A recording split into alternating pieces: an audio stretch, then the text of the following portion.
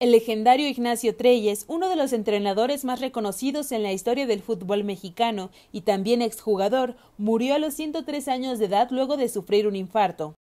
El equipo Cruz Azul, con el que logró dos títulos como director técnico, confirmó la noticia esta mañana a través de la red social de Twitter.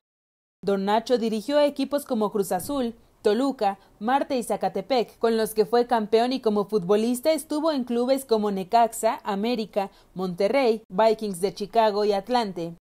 Tras conocerse el fallecimiento de Ignacio Treyes a través de las redes sociales, diversas figuras, clubes, jugadores, directivos, comentaristas deportivos e instituciones expresaron sus condolencias como la Federación Mexicana de Fútbol, el Comité Olímpico Mexicano y los equipos Pumas, Toluca, Atlante, entre muchos más.